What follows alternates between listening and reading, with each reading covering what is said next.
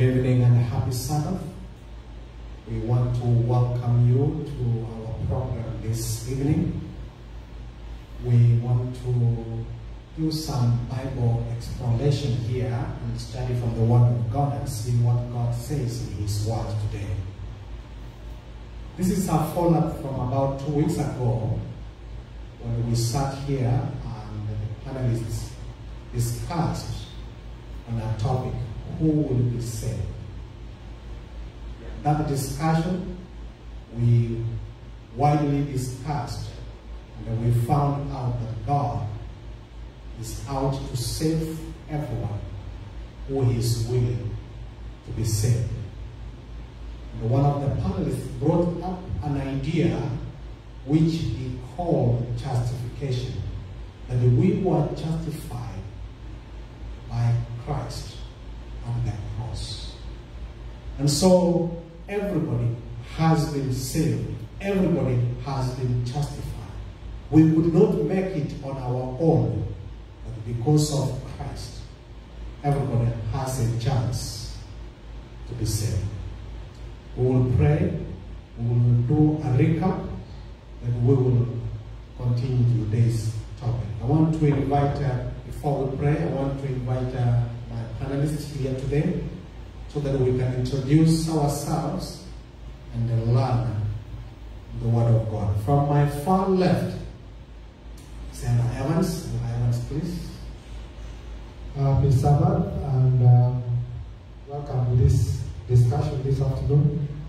Uh, I want to tell you it will be a very interesting one, very important in our lives. So, have time and sit together, have your Bible, and refer to what we want to discuss this afternoon. Thank you very much, Elder Evans. Uh, close to me here, close to my left, is uh, Brother Ribo. Brother Ribo, please. Uh, good afternoon and happy Sabbath. Uh, welcome to this uh, afternoon discussion on a topic that we really need to understand as Christians. So I look forward to your participation in this program and details.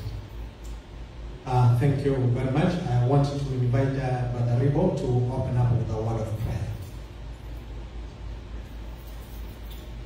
Let us even pray. Our Heavenly Father, is afternoon hours that we come before your presence, open up your word, to understand that which is your will for us in our lives, your plan for us. May your Holy Spirit accompany with us and guide us so that we can understand and apply whatever we study today in our lives. In Jesus' name we pray. Amen. Amen. Thank you very much. I want to welcome everyone who has joined us as we discuss the Word of God. Let's look back. Who will be saved? I want to begin from uh, Elder Evans. So, Elder Evans, we spoke about justification. What is this we are calling justification? Yeah, thank you. Um, if I remember very well, I can only say in a very simple statement justification is an act of God where a sinner who has accepted the sacrifice of Christ by faith is justified or is made uh, acceptable or is reconciled to God.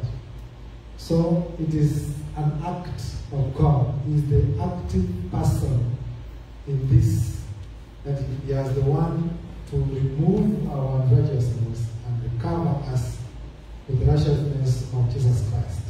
The only thing the sinner does is by faith to accept what Christ has done for us. So the acceptance of what Christ has done is what we are calling justification. Uh, Brother Ribo. Uh, thank you, Elder. In simple terms, what we learn is that uh, justification is an act of God to save us through Jesus Christ's sacrifice on the cross. And then on our part, we are just required to believe and accept that sacrifice that Christ made for our sins, to reconcile us with God. Thank you very much. It was an expensive endeavor to come and save us from our sins. And there's no human being, there's no creature who could have done it except Christ. And so Christ came and he paid the debt.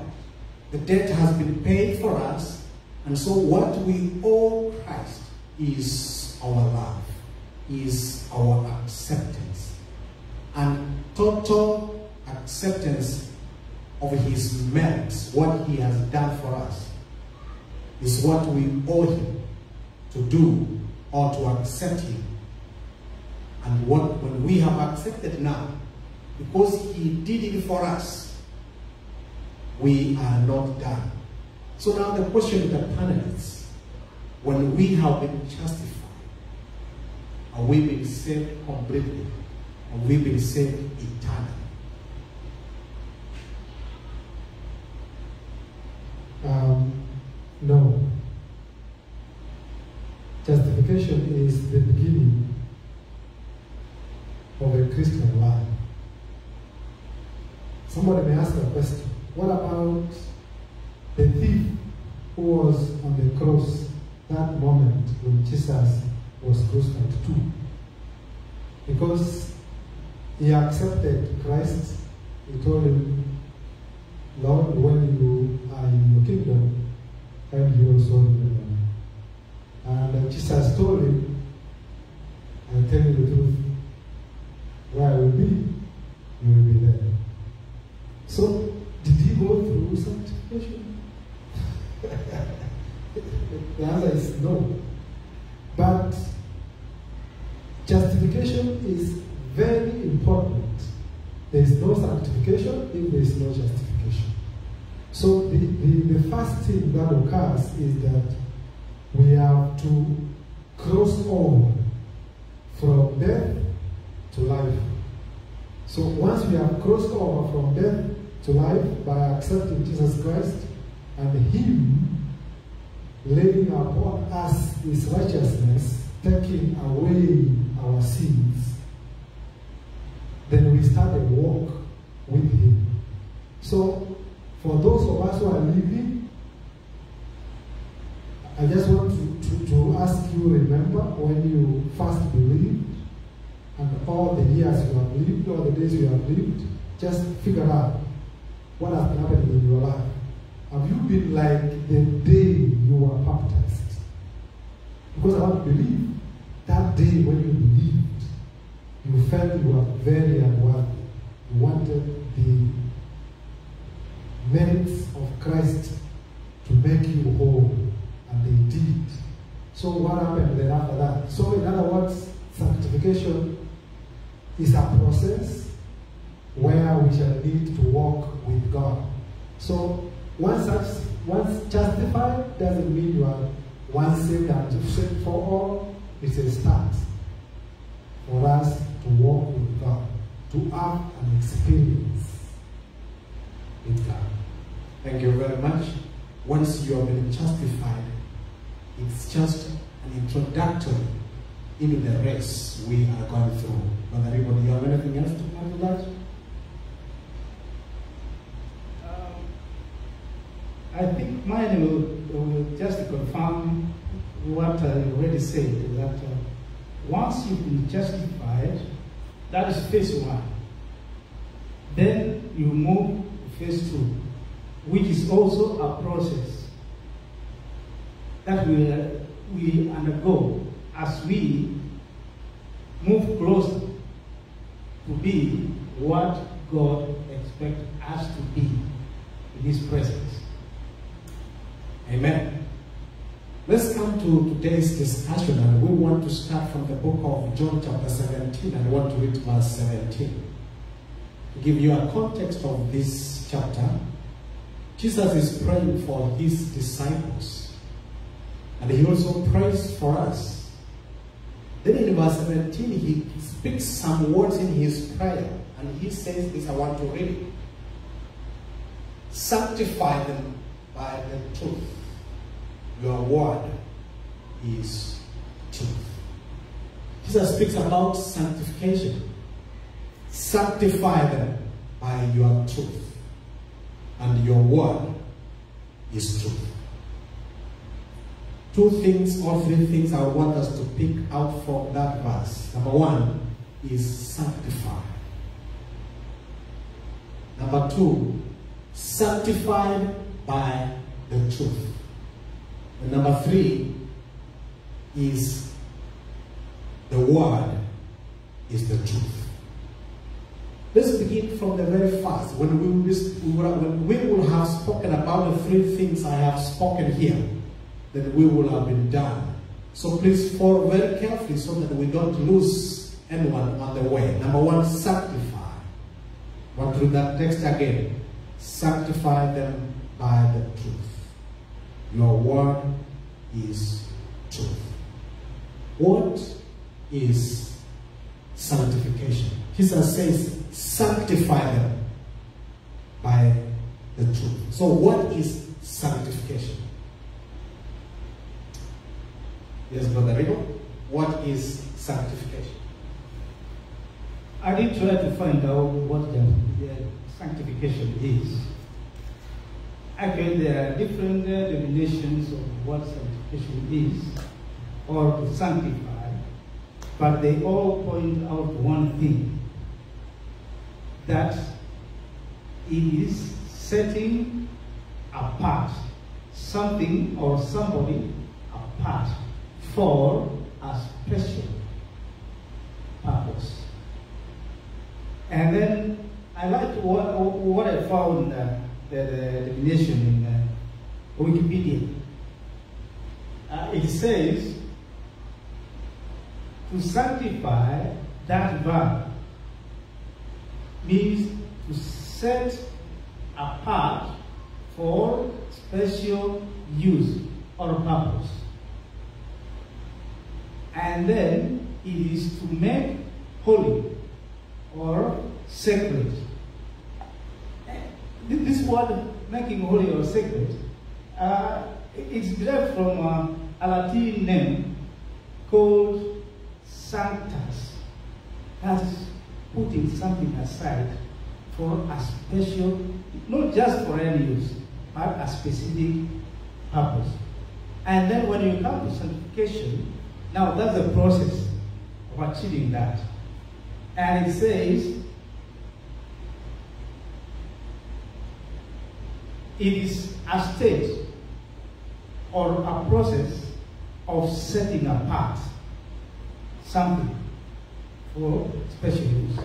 It's a process of being made holy as a vessel full of the Holy Spirit God. Setting apart is making holy a vessel full of the Holy Spirit of God. Let's underline that. Full of the Holy Spirit of God. And then it also refers to the change that God brings in a believer's life. They change the whole process of change that comes in that process of sanctification. And then it begins at the point of salvation when you accept Jesus Christ as your Savior. And it continues throughout the life of a believer. So after accepting Jesus Christ is now that process that follows. How do you follow up your salvation? Thank you. Thank you much, Evans. I not very far from what Rodrigo said. I may confirm by saying that sanctification is a three-stage process. which is past, present, and future. Past has already been done. In other words, you cannot be set apart unless God does the first act of counting as righteousness. Righteous by clothing us with the righteousness of Jesus Christ through our faith in Christ. So the first stage occurs at the beginning of Christian lives. So everybody has already started. Whoever is a Christian has already done the first uh, stage. So this present is a longer process. It continues throughout our lives. And this is where we, we, we, we the, the one was saying that this is where there is reorientation of desires and we develop a love of righteousness. So those things that we were doing as sinners, they will not, they will not go away in one day. We will not overcome them in one day. Sometimes people fall back to where they were because they find they are not moving towards what they anticipated. Forgetting that once we were justified, we started a walk, a longer walk with sin. Because now sin becomes more magnified. So the, the thing is that it is three stages. The first stage is past. Is a present one where we are learning who God is. What does He want me to do? How do I do it? So we, we continually surrender to the will of God as He keeps recreating His image in our lives. And uh, the future one is yet to come. We will talk about later. So right now we are concerned about the present. So for me, let me say something before I, I give it. Yeah. I'm reading from the book of uh, John. And uh, Bernard said, uh, John 17, but I want to read verse 3.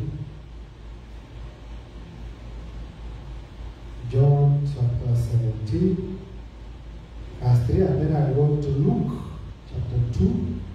Let me first of all look at, said John chapter 17, okay. verse 3. It says, um, and this is eternal life, that they may know you, the only true God, and Jesus Christ, whom you have sent. So, verse 17, which Elder Bernard read, was sanctify them by your truth, and your word is truth. Now, verse 3 says, This is eternal life. So, what is eternal life?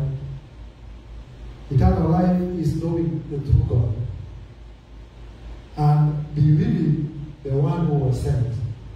That is eternal life. So, who is Jesus? It's another question which I want us to ponder here as we engage ourselves in sanctification.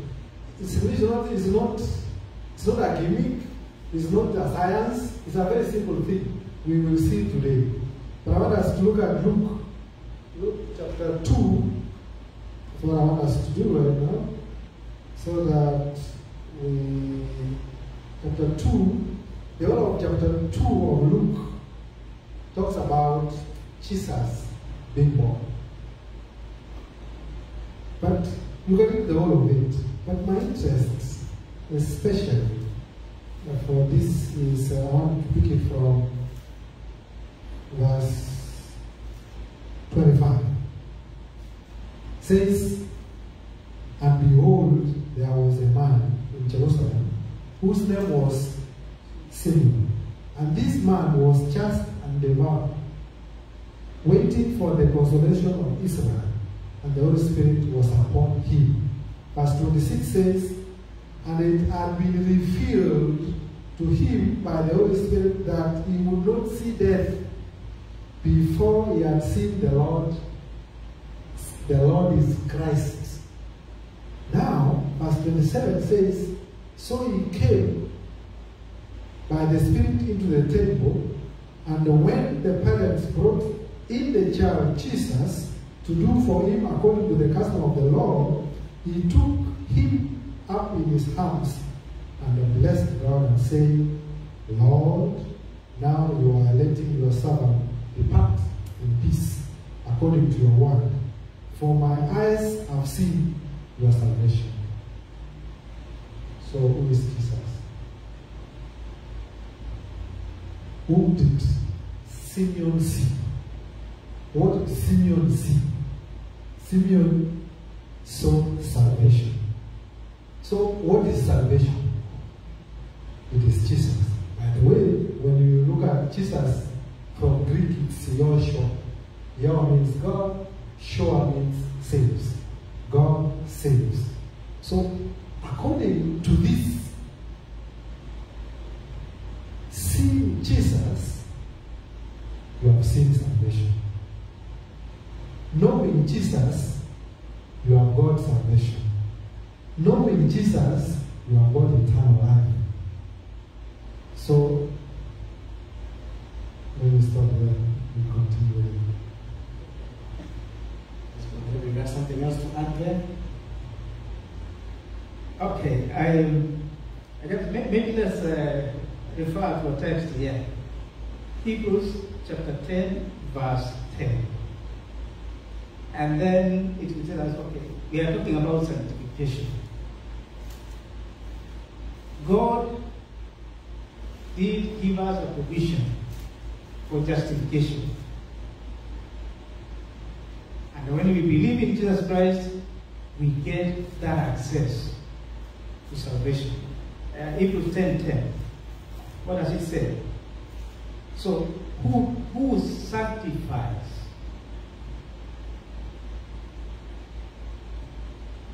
Which one you have? And by that, and by that will, we have been made holy through the sacrifice of the body of Jesus Christ once for all. And by that, through the sacrifice of Jesus Christ, God sanctifies us through the Holy Spirit. There are three personalities here we have to distinguish. It is God's will that we get saved, we get salvation. And to get that salvation, we access it by accepting the sacrifice that Christ offered for our sins. So God's will is that we get sanctified, justified, and we attain eternal life. And that we attain it by believing in who? Jesus Christ and the sacrifice that he gave. Is that all? That is not all. We to that as a elder uh, read from John 17 17. Another aspect for this process to be complete, this process of salvation, is by getting the power of the Holy Spirit. God's will is that we get saved. Christ provides the foundation foundational basis for our salvation. And by the empowering and guidance of the Holy Spirit, then we will be enabled to go through the process of sanctification. Thank you very much. I think what we, or what I have heard you say in sanctification is the setting apart for a special purpose. And so, if Christ has set us apart for that special purpose, then we have been sanctified. He has done it for us. So, another definition is cleansing us from our sins, to make us holy, to make us pure for His purpose. My next question will be I want to remain on sanctification so that we don't have to lose anybody. Why do I need sanctification?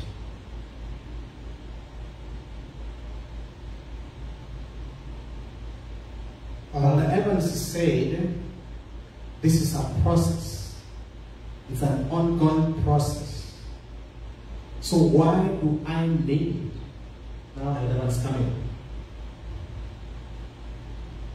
Uh, one, one thing I want us to to know and understand is that salvation is not an event. It's not an event. It's a person. And this person is Jesus. When we read in the Bible, the, the apostles, and especially Paul, says the fullness of God is in Christ. So once we are Christ, we are everything of God. So if it's not an event, then why is God so much interested? The definition is set apart. I just want us to imagine one aspect. God hates evil. His wrath is kindled in the presence of evil, presence of sin. So, it, whenever there is sin or whenever there is evil, God is wrath is kindled. So, if it appears before Him, it will be consumed. So, God, so loving, He wants us and the only way we can come close to God, we can come to that relationship that was there before sin came, sin has to be removed from our lives. And that is why He has to set us apart by sanctifying us. And the process of sanctifying us is recreate us anew. It creates us new hearts, it creates us new spirits, it creates us everything. That is why this is important. The next phase after this is that those who will stand before God have to wear immortal bodies. There is no human being who will wear a mortal body with sin sin has to be removed for us to be planted. So it is important that we have to be sanctified. Maybe before, uh, let me read this one. Why? The word know from Greek is konoskos. And it means to be intimate. It, it brings the concept of intimacy. So this is a relationship. So the process of sanctification is the process of knowing God, becoming intimate with God, developing a relationship. Now, this is how the Spirit of prophecy says. Us Christ of Revelations, page 114. The experimental knowledge of God Jesus Christ, whom we are sent, transforms man into the image of God. It gives to man the mastery of himself, bringing all impulse and every kind of inclinations or passions under the control of higher powers of the mind. It makes every possessor the son or daughter of God and the heir of the heavenly kingdom. It brings him into communion with the mind of the infinite and opens to him the rich treasures of the universe. So that is why God is very keen to ensure that we are sanctified. Without sanctification, we shall not be able to overcome the impulse, the natural passions or inclinations to sin. We shall not be able to bring under control those things that upset us. We are easily upset by very simple things. It's our nature. But that has to change. And that to change through God indwelling in us through His Holy Spirit. That can only happen as we continually surrender. He keeps filling us with His Holy Spirit. Day one, day two, until we see Jesus come. So lastly, life eternal is to gnosis, Jesus. In other words, life eternal or sanctification is to know Jesus and God the Father.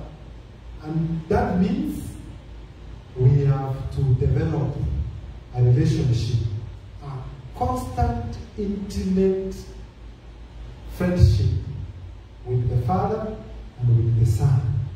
And that can only happen maybe in the next phase, Elder will ask a question. Thank you much, uh, Brother Ribo. Do you have anything to add? Why sanctification? Do you have any question or do you have anything to add on that?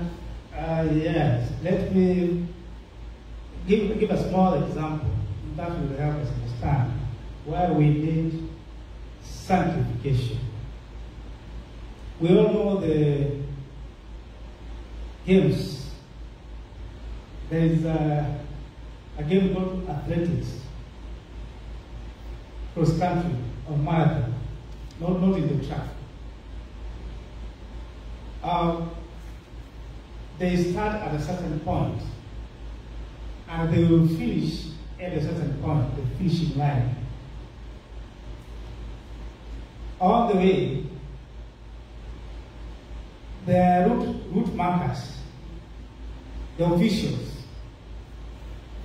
who will ensure that only those who started the race are the ones who will end the race and give the reward for finishing the race.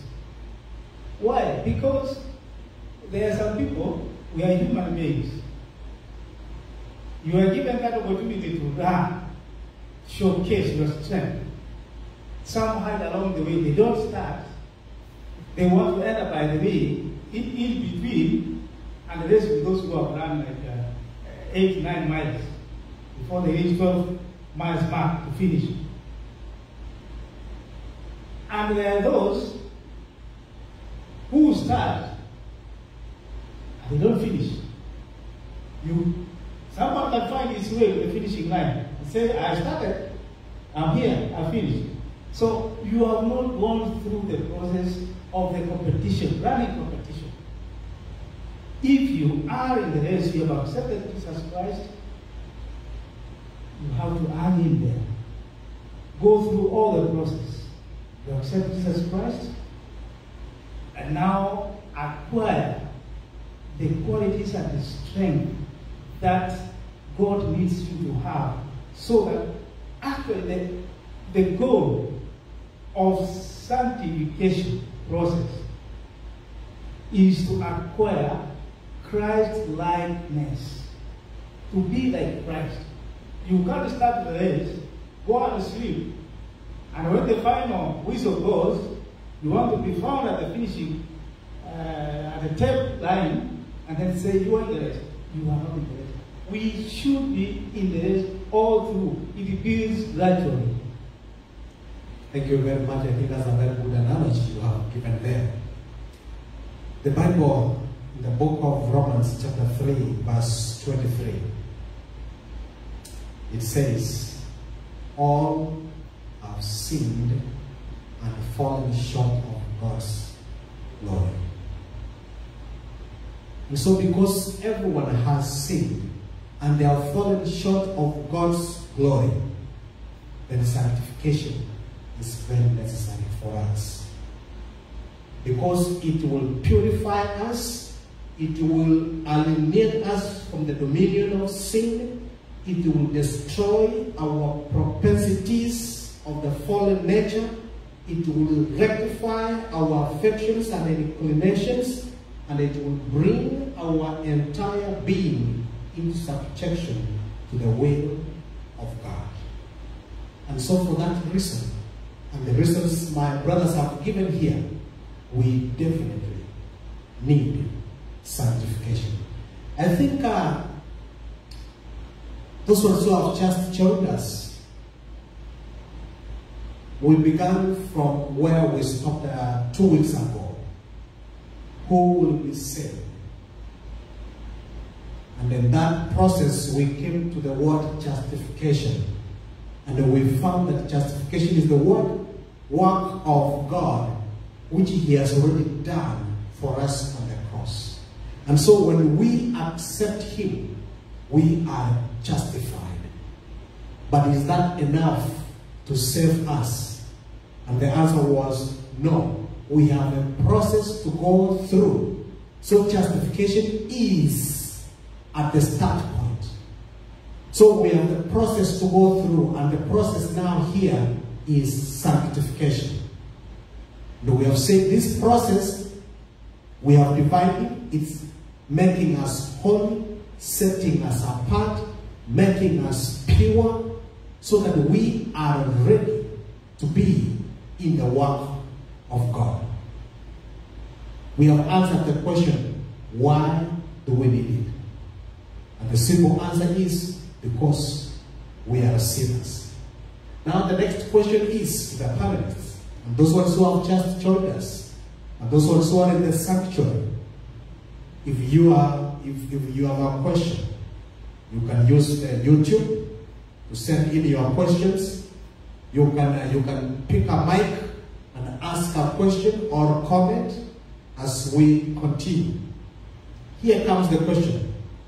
So who sanctifies us?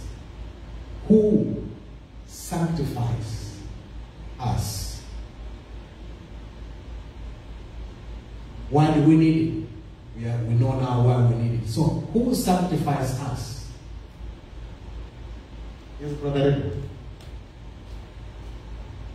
Um, as we mentioned that earlier on, that um,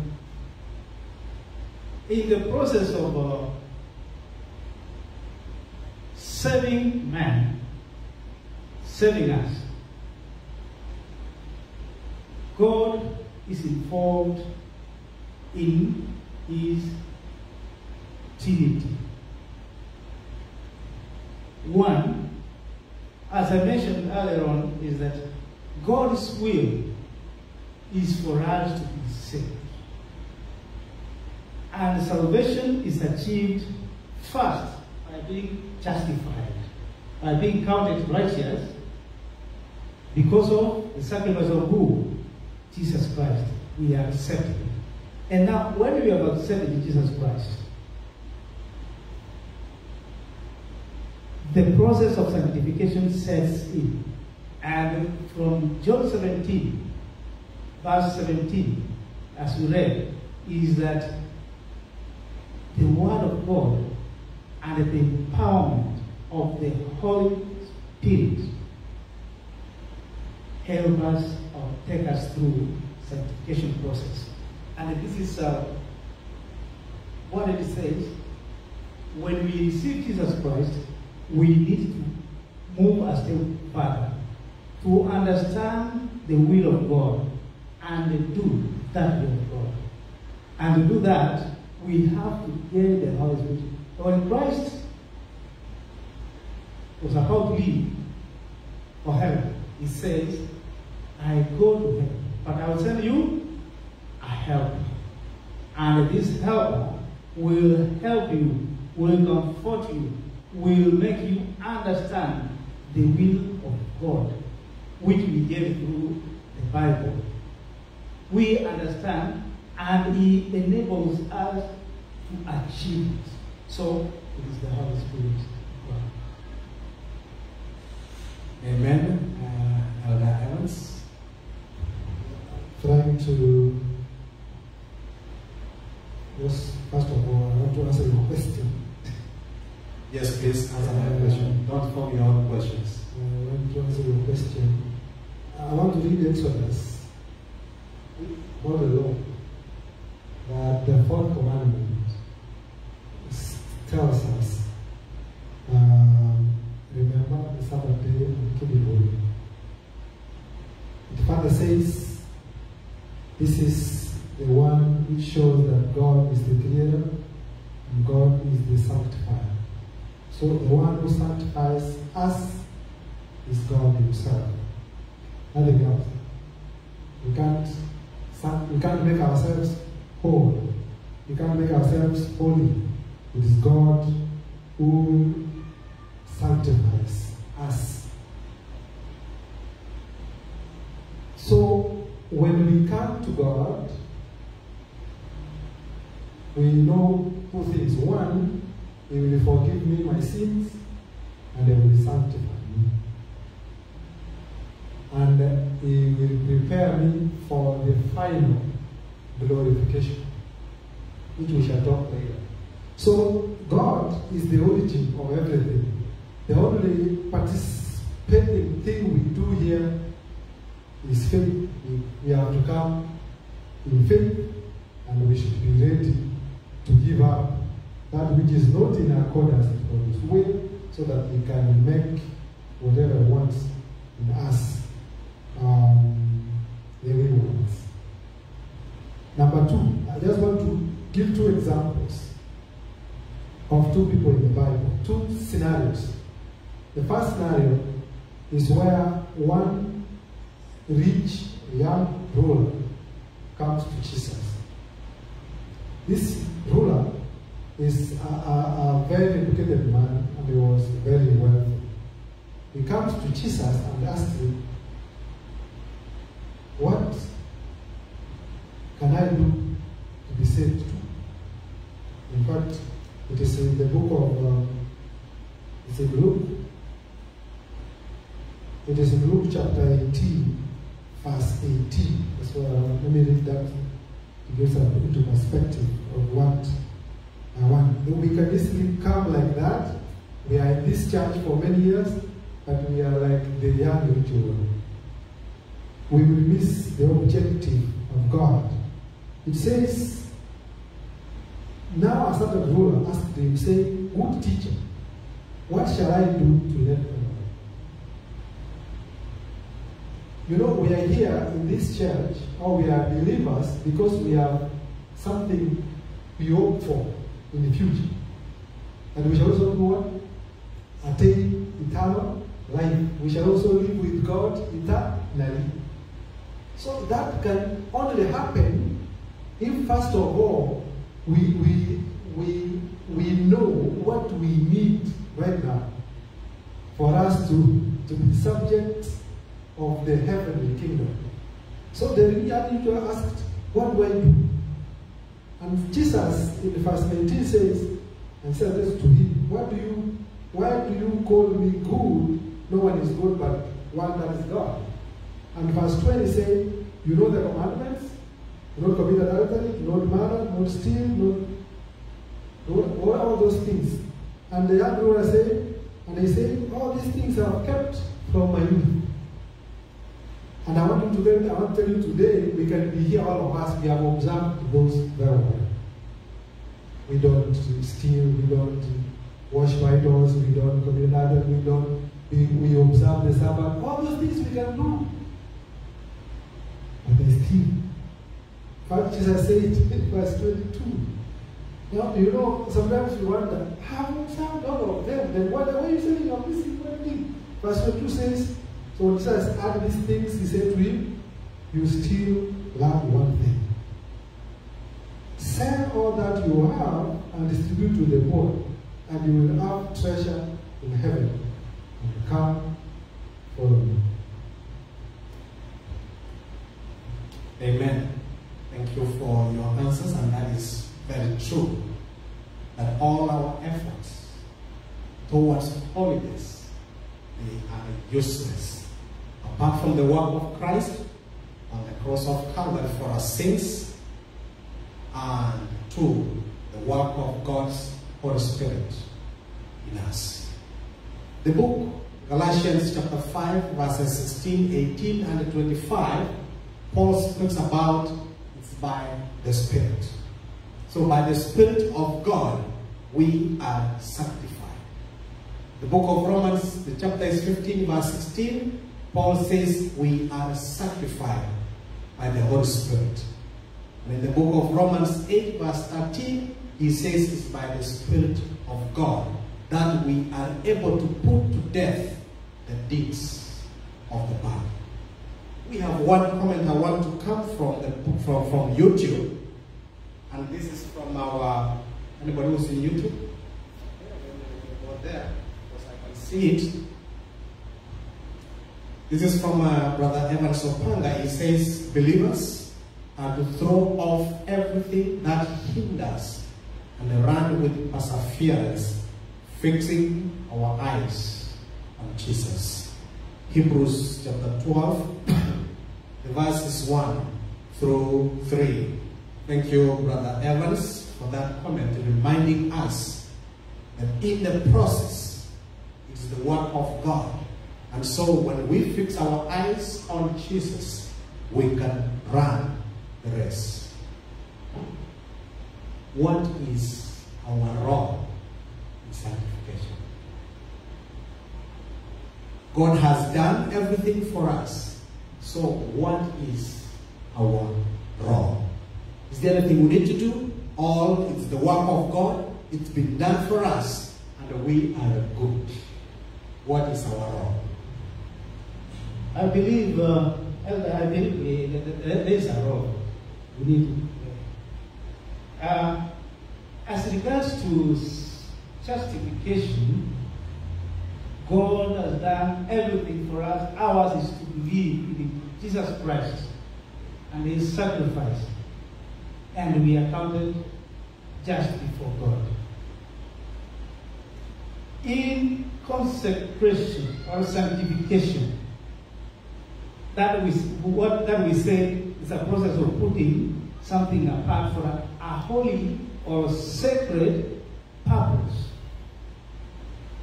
Now, if let's look at the example of what Christ did when he was healing the paralytic. There was a paralytic man who was laying sick and helpless for many years. What he did is he told him, stand up, take up your mat, and do what? And walk. Get up,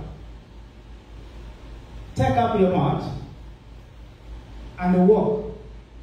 Now, supposing the paralytic did not stand up, Supposing he remained down there, I'm paralyzed. I'm down. He had a wrong thing. That is responding to the call to salvation. We also have a role to play in response. That is only in response to the call and the provision that God has made for the remittance and forgiveness of sins and the sanctification process. The book of uh, Hebrews 12, verse 14, it says, We should pursue holiness. For no one can please God without holiness, without being holy. And how do we achieve that? That is not. We need to, res- to respond to the guidance of the Holy Spirit that us through that process. Thank you very much, Brother Ribo. Before we come to uh, uh, Evans, there's something I want to put clear here. There's something I want to put clear here. Uh, Brother Ribo has read from the book of Hebrews, chapter 12, verse 14, and it says, Pursue holiness. I want to say that that word holiness is equal to sanctification. So when he speaks about holiness, he has not drifted off from the topic sanctification. So you can say pursue sanctification, which we cannot do it by ourselves, but we need to follow it. Yes, Elder Evans, how, what is our role in sanctification? I, I just want to use what I just said a few minutes ago.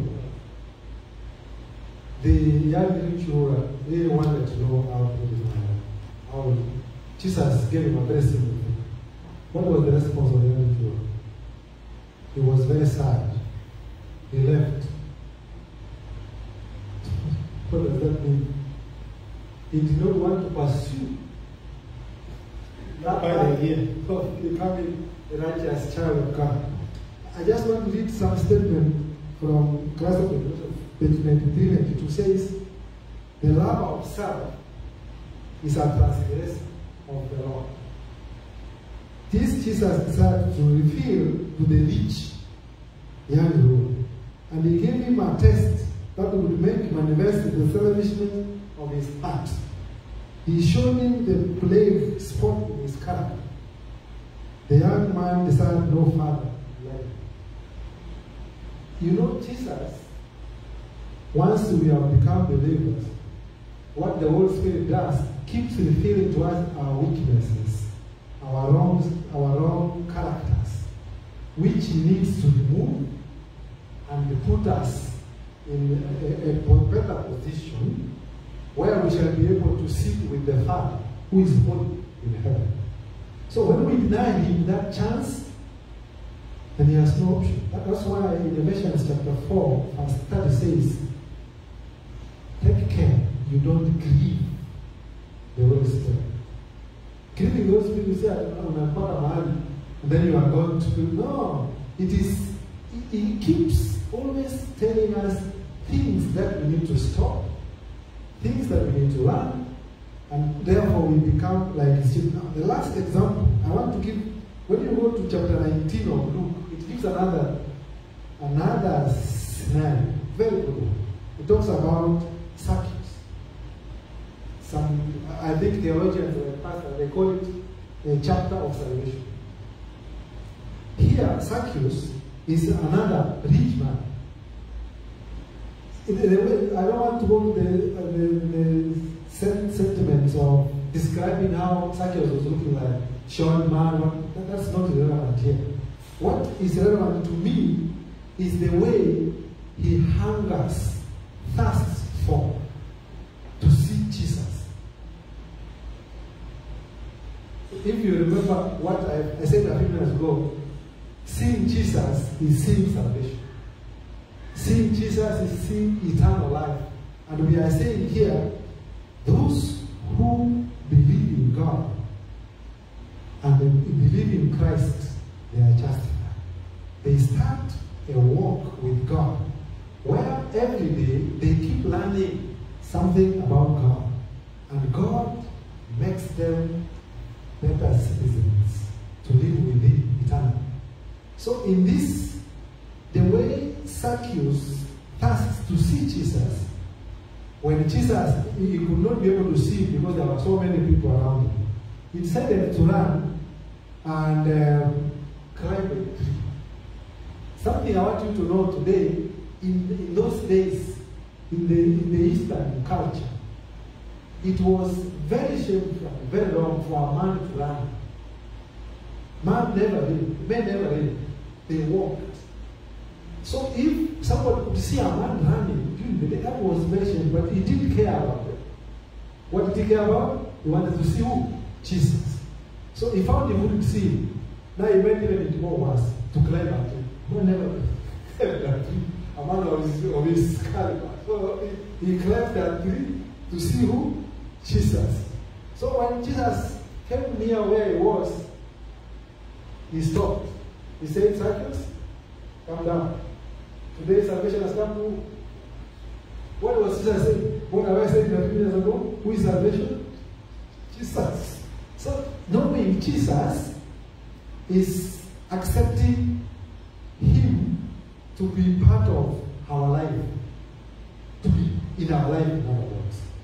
So we should be ready. Our role, therefore, is to empty ourselves and allow Christ fill himself in our lives. In all spheres, whether it's at work, whether it's at church, at our house, what should be seen by people is Jesus. And I like, maybe before I stop speaking, I like the way Zacchaeus responds to this invitation from Jesus. When Jesus goes to the house, he gives them food, they eat. Even if the others who are complaining, you know, the, the others who are complaining, why is he going to tax collectors? Zacchaeus says, Lord, I know I've done wrong. There are those people I took money from them wrongly. I'm ready to give them how many times? So you see, he's ready to amend, he's ready to make his way right where he can. And Well, allow he's Christ to responding. That's the responding. And I make a comment there, because arising from Marius, just comment. Okay. Um, let's read First John chapter 3, verse 2, and uh, John 16, verse 13.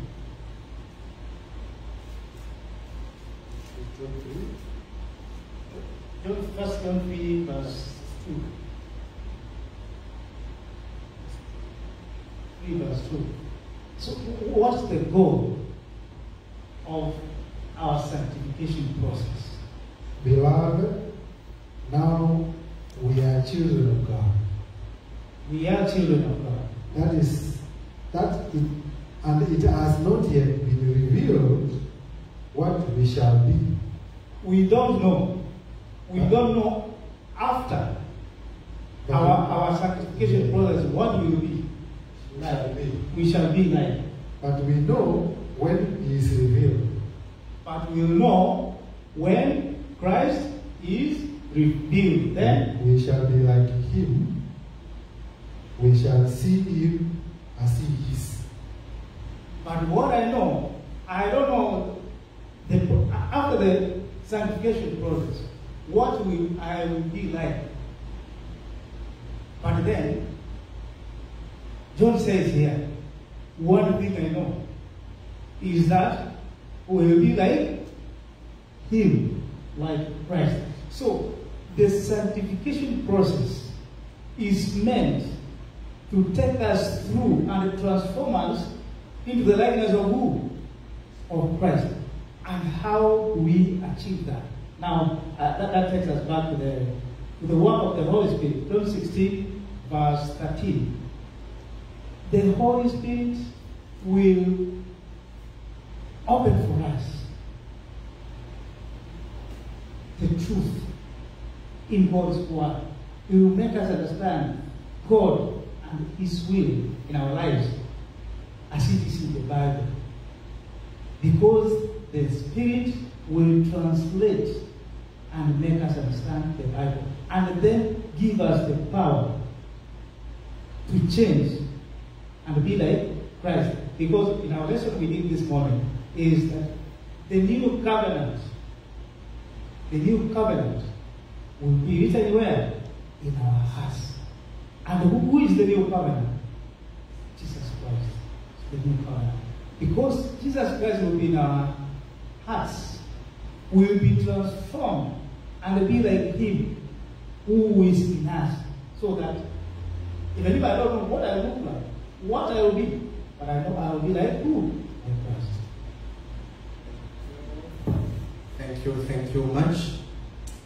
The question uh, the panelists have been endeavoring to answer is what is our role in sanctification? Those who are have just joined us, if you have a comment, If you have a question, you can feel free to use our YouTube uh, and we will be able to read your comment or your question and we will try to answer as much as we can or we can do a discussion on the topic of sanctification.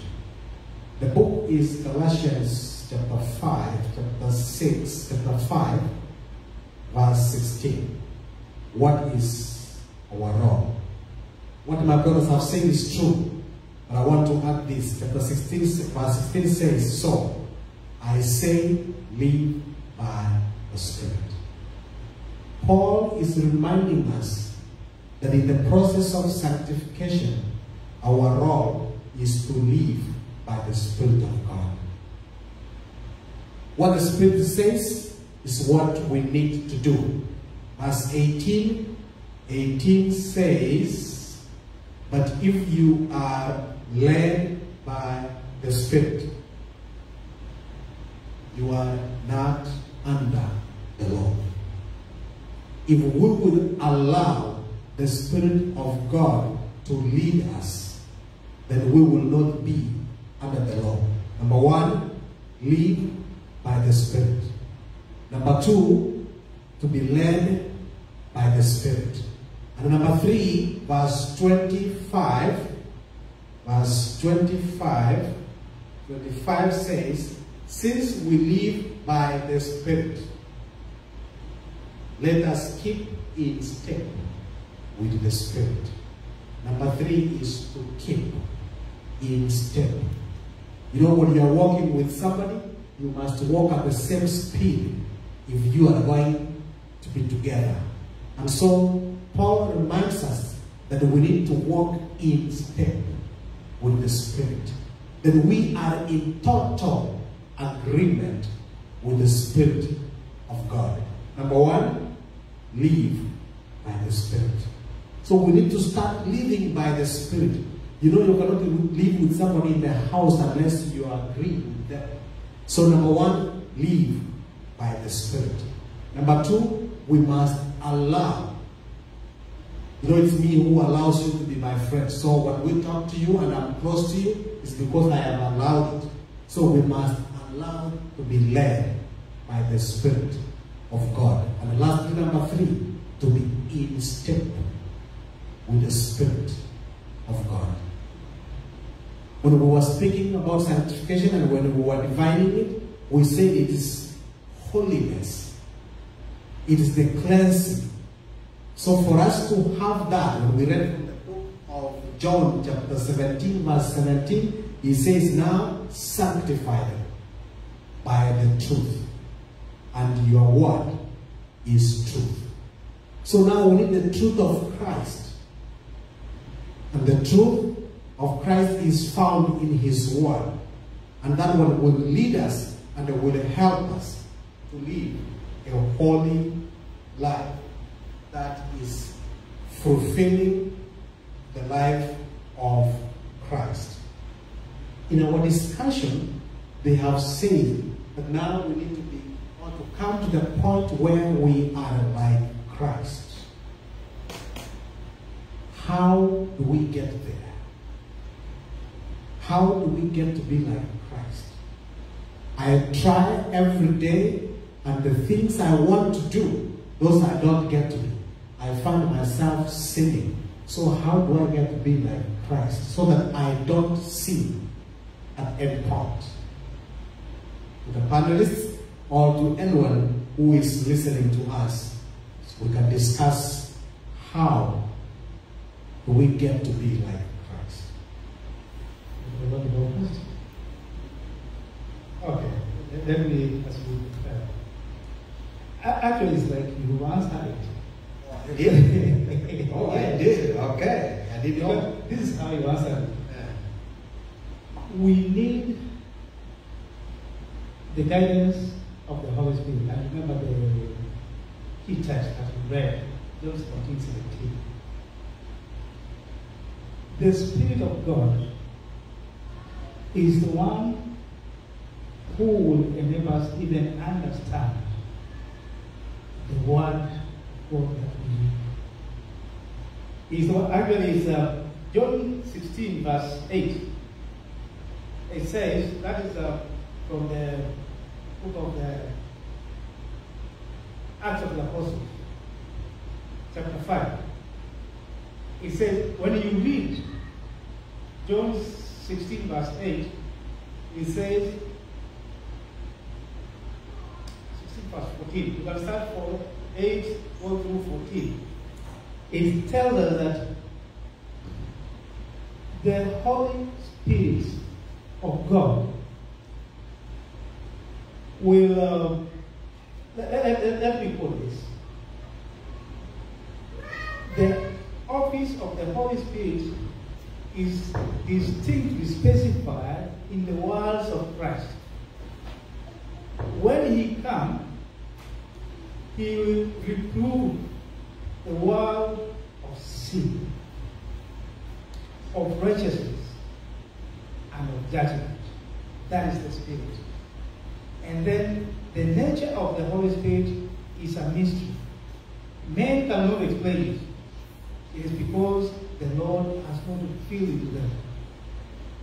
Um, I'll let it sum up there. But what the, the, the, the, the book of uh, Acts of the Apostles said, when we give ourselves and our lives to God, our lives and response will be in response to the dictates and guidance and explanation and remembrance of the Word of God through the power of the Holy Spirit. So the Holy Spirit of God will enable us, enable us to understand what the will of God is. How do we get to know what the will of God is? By studying the Word of God.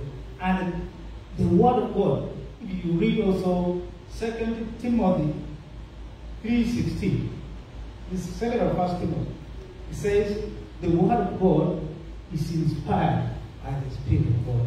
So, the Spirit of God will enable us understand the Word of God, which shapes our character and our approach and our mind to be like that Word of Christ. Thank you much, Elder Evans. You have anything to add? I'm reading from um, Titus chapter 2, verse 11.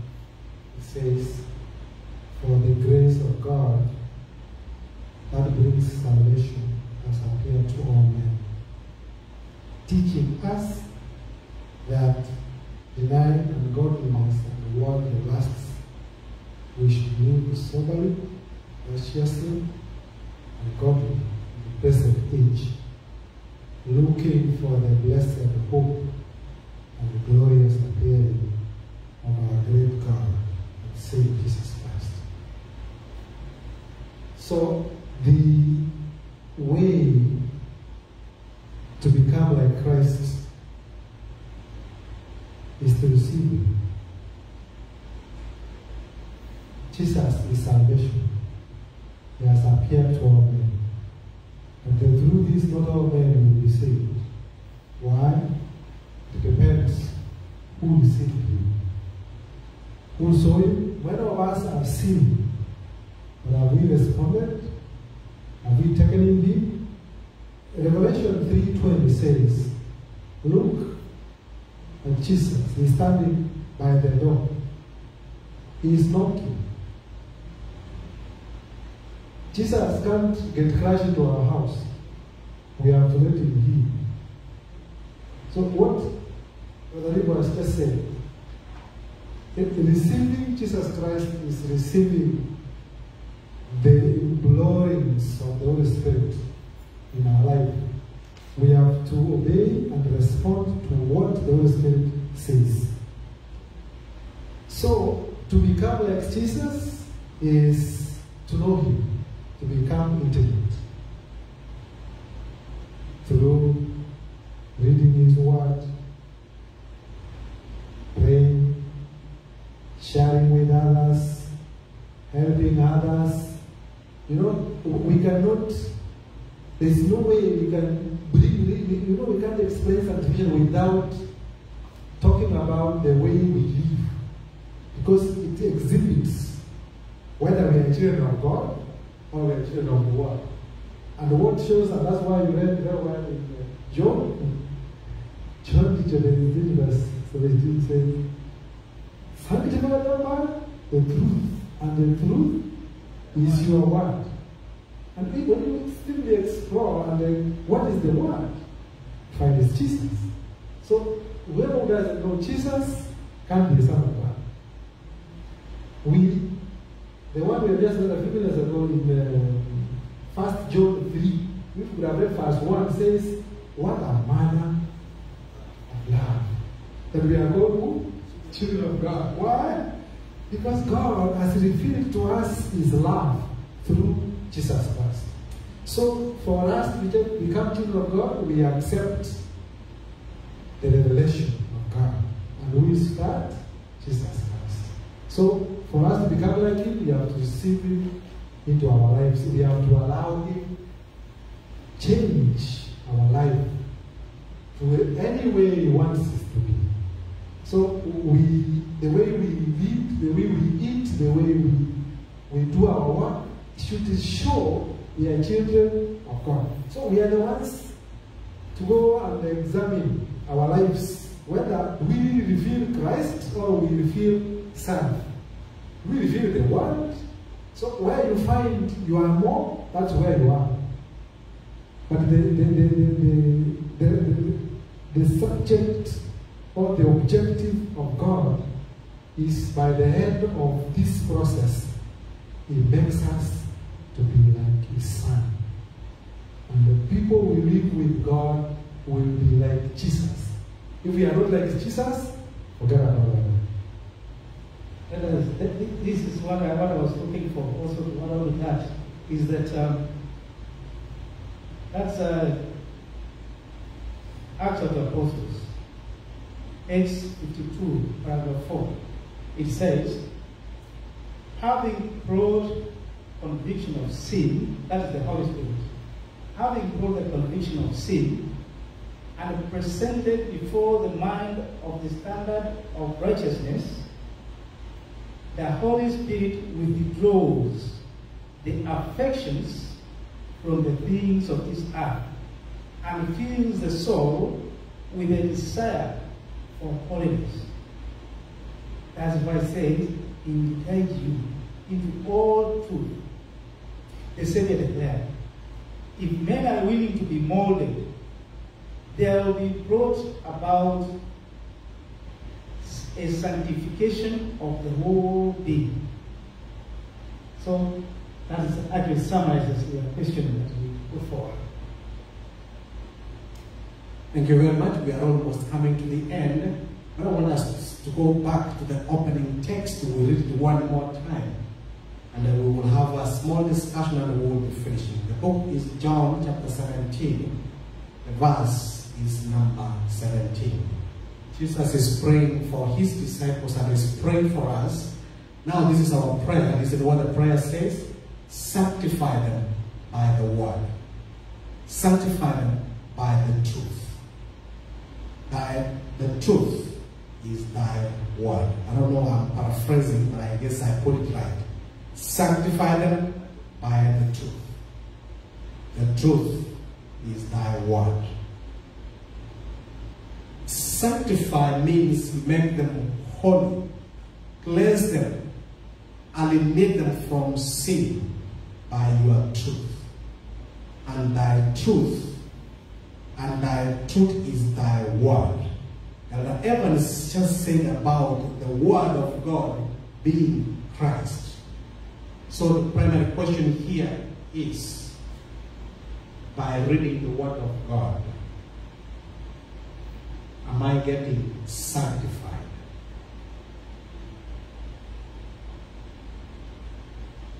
When I'm reading the word of God, am I getting sanctified? Am I getting holy? Am I getting separated from sin? Am I getting purified? Am, am I getting set apart?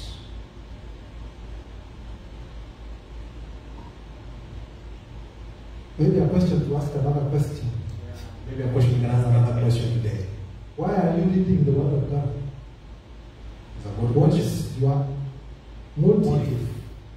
What is the objective of reading the Word of God? To know I want to believe that is the objective. To know God.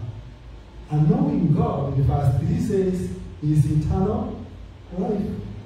So that is the way to go. The way to start becoming like a child of God, you have to read the Word of God. But there are, right? There are quotations, caution. Chapter 18 of Luke said, a young rich ruler came to Jesus. He asked him, Do you know the commandments? He said, He read all of them. What do we see? The young rich ruler had everything, had all the knowledge of the commandments. Was he saved? No. And uh, so, in other words, we can read, but we have to allow the words to make a change in our lives. Because that is the voice of God. And when God speaks to us, for example, He says, You need to help the needy. Right? I don't just read and look at somebody should do that. It's me. You need to, to do the following. So, what we have to object, we have to the word to be objective to us. If the word has to speak to me, and I have to check that this one has said, don't, we, we have a tendency, because of we are sinners, we have a tendency of always applying what we read on other people. We don't allow the word to speak to us. When we are reading, we, we, we see somebody. Now, yes, simple. I think this one is speaking about so and so. No, it's speaking about you and me. So when you read, let us allow the word to speak to me. So whenever, and that's why Paul says, the word of God, when you read the, the law is a mirror. So when you, the, when you look at the mirror, the mirror doesn't remove the, the wrong thing which is it you have seen on your face. You remove it. But here, to, to make it more brief, is that the Word of God, as written in the Word in the Bible, reveals who Christ Jesus is, who God the Father is, who God the Holy Spirit is. So God, holy, reveals Himself to us through His Word, and He speaks to us through His Word. So we are the ones to take these words and apply them in our lives. Allow, by the way, it says, the, the, the grace of God has appeared to all men, and this grace becomes the enabler, the one who enables me, you, and me to overcome, to become like Jesus. The, the truth is, the way we are made because of sin, we cannot do anything good. And the feeling is that we have said, unless we are holy, we can never see